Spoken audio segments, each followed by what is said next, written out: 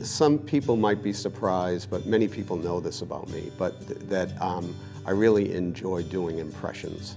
People get a laugh out of it, and so do I. And when someone comes in those doors, their blood pressure's up, their heart rate's up, they're anxious about talking about things. It's the human condition. And if I can lighten up the atmosphere a little bit, it can really relax people.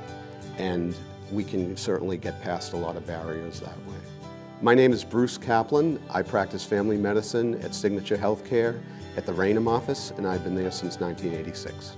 When I decided to become a family physician, I've always enjoyed working with adolescents. That's something I did before medical school, and that's where family practice really comes in, in, in that the care for an adolescent is seamless. Before you know it, you're taking care of their kids. I have three and a couple of four family generations that I've taken care of. It's very important for me to be non-judgmental and to understand what the dynamics are, being able to sort of get through the turmoil. And it really pays off. I've experienced a great day being a physician when a long-term working relationship with a patient who is struggling with a difficult problem results in a positive medical outcome.